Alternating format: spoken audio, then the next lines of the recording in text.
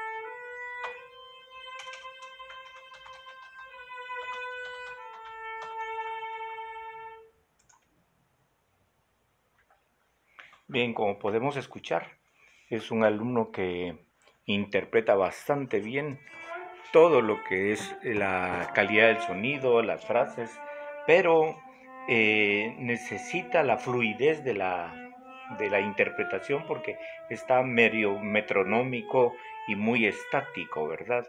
Entonces eh, le pedí la segunda parte porque este es solo el principio y, perdón, en el principio dije que es segundo movimiento y es es de la introducción al tercer movimiento realmente. Em, el concierto de Saint-Saëns ya es de los conciertos del periodo romántico en los que nosotros encontramos una continuidad, ¿sí? Saint-Saëns en sus conciertos de piano también encontramos que no tiene eh, los movimientos divididos, sino que los tiene conectados, los tiene enlazados. Y esto es una cosa interesante. Recordemos que los grandes compositores lo que querían era al romper la forma musical de sus anteriores maestros, sin embargo poniendo de manifiesto su calidad compositiva, sus cualidades artísticas. Entonces, esto es una característica, los encontramos ya en los conciertos de, de Liszt, por ejemplo, los conciertos de piano, también tienen una unidad en algunos casos, o los mismos conciertos de piano de Saint-Saëns, que están todos prácticamente unidos dentro del movimiento a movimiento, no hay parones. No sé cuál fue la razón de ellos, pero tal vez era que la gente o se iba o tal vez aplaudía dentro de los movimientos y ellos lograban con esto prácticamente un concierto en una sola línea, un poco cansado porque se volvían muy largos, sin embargo tienen cierto atractivo la continuidad temática y de, su tonalidad y cómo podían pasar de un elemento eh, interpretativo emocional a otro. Entonces, eso es lo que vemos en estos conciertos. Los espero la próxima semana.